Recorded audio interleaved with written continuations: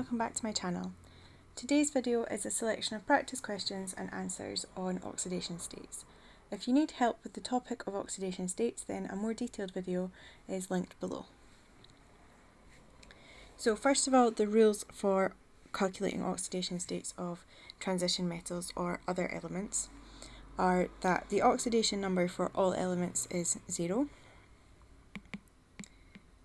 so for example, the oxidation number of a sodium atom would be 0.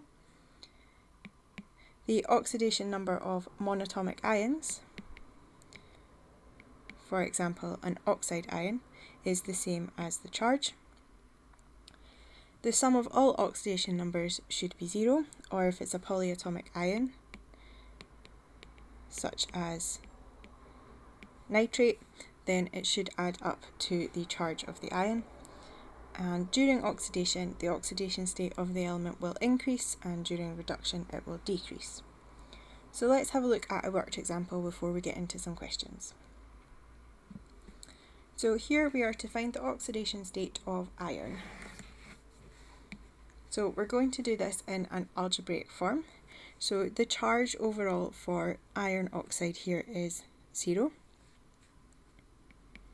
and that is made up of the charge of both of the iron uh, ions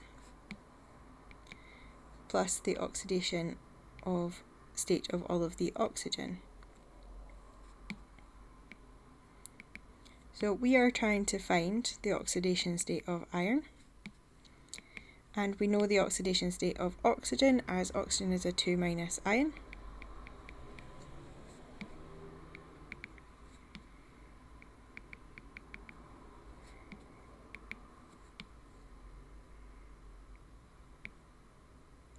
So if we now rearrange this, then we will have the two iron ions equal to 6 plus, which means that one iron must have an oxidation state of 3 plus.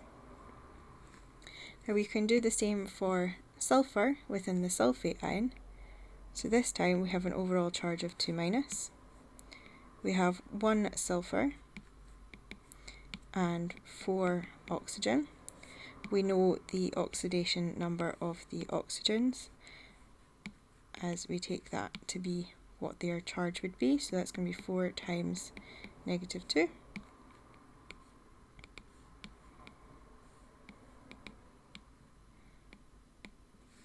So if we rearrange this, then we have sulfur equal to 6 plus. Find the oxidation state of the elements highlighted in blue on the screen. Pause the video now.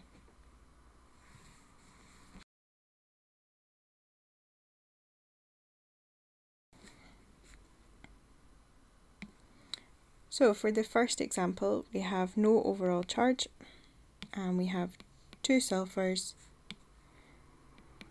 and three oxygens, each oxygen being minus 2.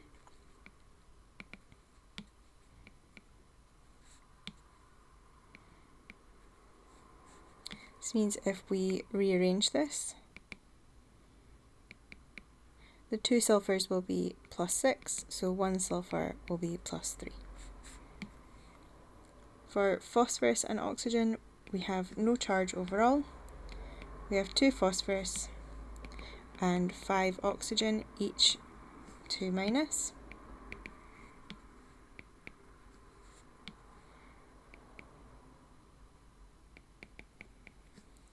So if we rearrange this, the 2 phosphorus will be oxidation number plus 10, so 1 phosphorus is plus 5.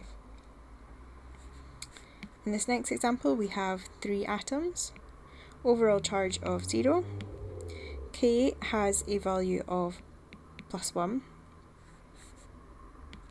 We are trying to find the oxidation state of chlorine and we have three oxygens.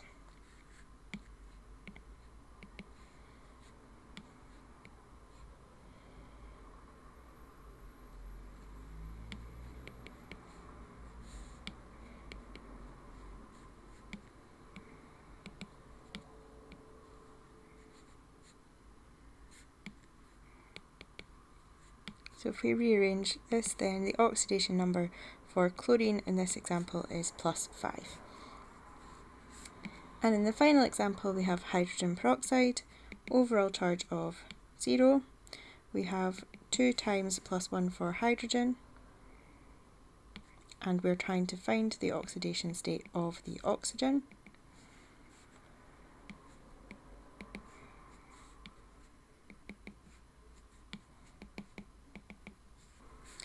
So if we rearrange this, then the two oxygens will be minus 2, so one oxygen has the oxidation state of negative 1.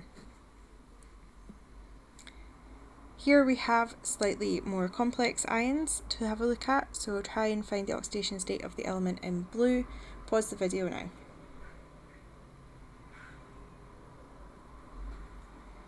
So the first example here we have is the permanganate ion. So this has a negative 1 overall charge. We're trying to find the oxidation number for the manganese and we have 4 oxygens.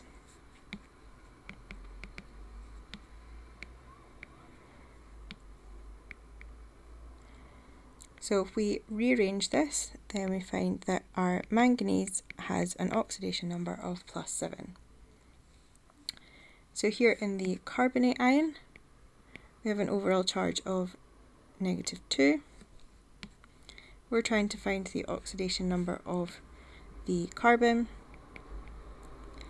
and we have 3 oxygens, each minus 2.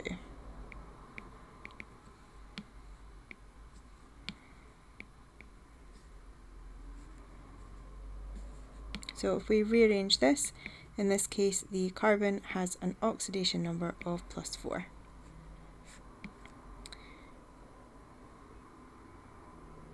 So in sodium dichromate we have an overall charge of 0. We have 2 times 1 for sodium, so each sodium ion is 1. We are trying to find the oxidation state of each of the chromiums, and we have seven oxygens.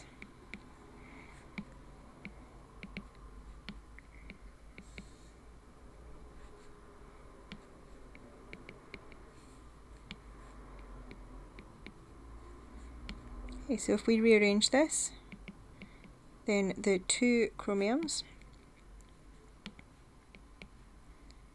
will be equal to plus 12, so one chromium will be plus 6. And in the final example we have aluminium sulfate. So 0 overall charge. We have two aluminiums, each plus 3. We have 3 sulfurs, because of the 3 on the outside of the bracket. And we have 12 oxygens.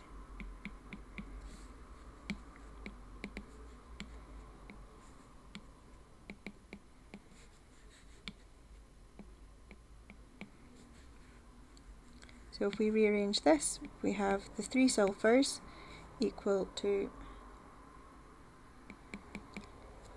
plus 18, so one sulfur will be plus 6.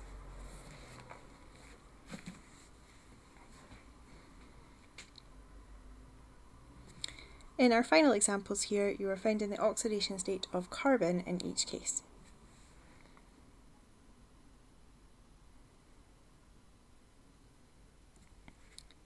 So in the first example, we have no overall charge.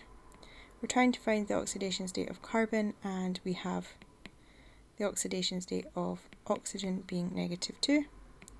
So carbon must be plus 2. In carbon dioxide, with this time we have two oxygens meaning that the oxidation number for carbon is plus 4.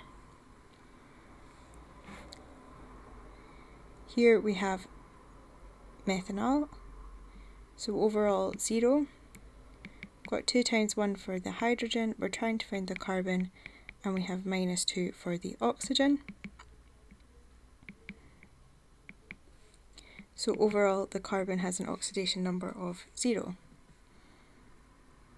if we reduce that to methanol, Then we have an overall charge there of 0.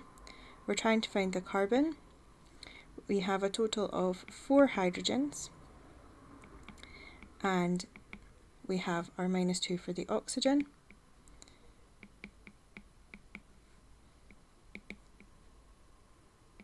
So if we rearrange this, then carbon in this case has an oxidation number of minus 2. So going from methanal to methanol, we are reducing and the oxidation number is also reducing. If we go from methanol to methanal, we are oxidizing and the oxidation number is increasing. In our final example, we have methane. So we have carbon plus 4 times 1. So overall, carbon has an oxidation number of minus 4. Thank you for watching my video. I hope that you found it helpful. Please remember to subscribe or follow me on Twitter at Miss Adams Chem and Instagram Miss Adams Chemistry for regular updates on new videos and flashcards throughout the year. Bye for now.